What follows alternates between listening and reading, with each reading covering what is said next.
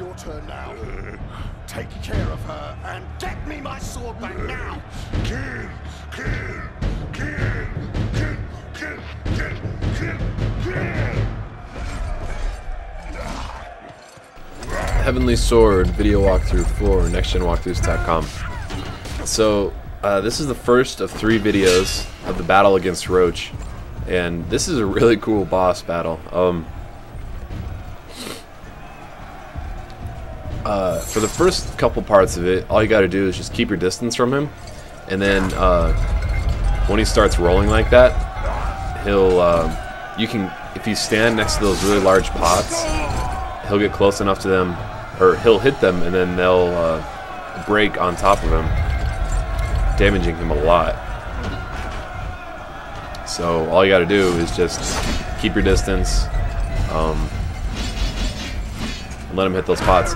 And sometimes he'll do an attack like that where he kind of jumps up in the air, and after he does, you can get a couple shots in on him that way.